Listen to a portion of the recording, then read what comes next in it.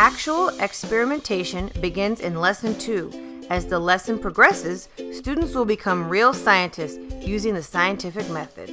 In the final lesson, students and teacher will collaborate and synthesize the theory and practice from the first two lessons in pursuing the question how can I use hydrogen and oxygen for a practical purpose? Having learned about the practical applications of hydrogen in the transportation industry and as potential energy storage source, students will be given the opportunity to apply this knowledge to the assembly of the DIY chassis kit to construct a functioning car.